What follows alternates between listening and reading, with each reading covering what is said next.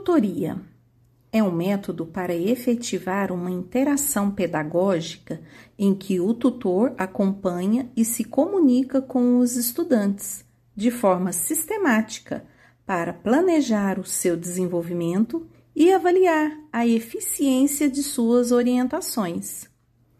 Fazer-se presente na vida do tutorado é aceitá-lo a despeito das suas condições e circunstâncias e exercer a capacidade de atuar na sua realidade de forma construtiva e afirmativa.